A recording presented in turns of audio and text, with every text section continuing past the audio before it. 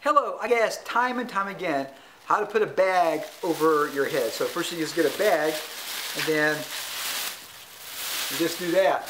Look at that. There's a bag over my head now. Rock and roll, and of course it does compute. Yeah.